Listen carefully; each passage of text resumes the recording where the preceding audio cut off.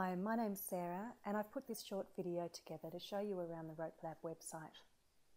Our address www.ropelab.com.au and this is our homepage. A couple of things here. There's a search function which is a great way to find information on a specific subject. A bit further down we've got a section detailing upcoming events and all the way down the bottom is a sign up form to receive a monthly newsletter by email. Back to the top and the main menu. The Our Story page gives a little bit of background and history to Richard and RopeLab. The FAQ page attempts to answer any questions on the website and the RopeLab membership system. The workshops page, I'll click on that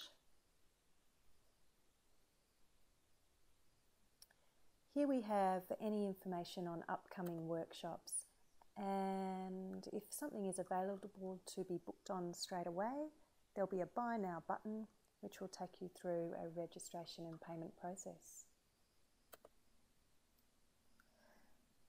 Now back up to the top. The free content can be accessed by anyone in the world uh, and it's grouped into four areas.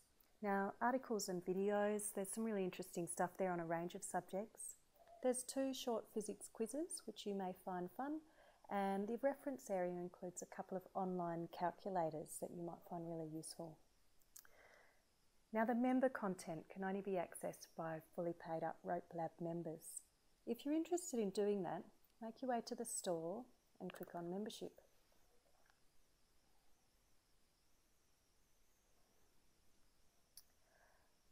Now, 60 Australian dollars will buy you a recurring RopeLab annual membership.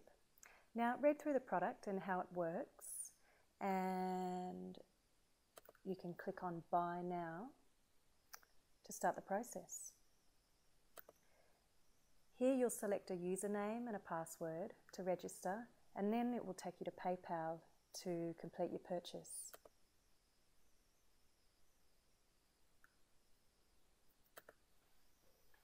Now I can then log in to access the full site. Now choose a good username because it can't be changed. But the password can be changed if you lose it or forget it.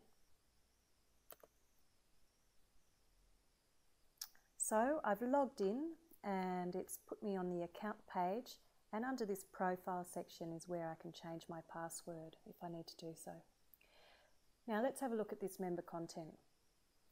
Uh, currently there's 18 test reports on this site. Let's have a look at what one might look like.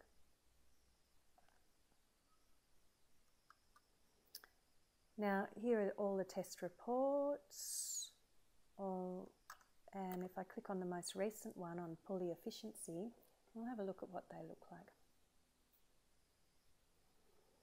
Now, Richard's really thorough in detailing his experiment design, um, any equations that he's used, detailing materials and his methodologies, as well as laying out his results and and then a bit of a always a bit of a discussion on his observations and what they mean in application to real life situations.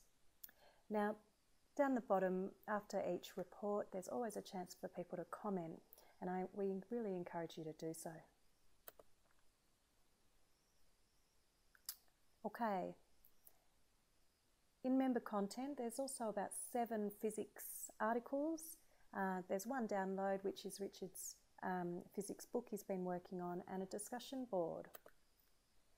If I click on that, the discussion board is a place where you can ask questions and engage with other RopeLab members. There's a search function, and these are the current questions that are going on at the moment. If you want to ask your own question, start a new thread, you can use this Ask a Question link here. So we hope you enjoy the website and please don't hesitate to get in touch with us with any questions you might have.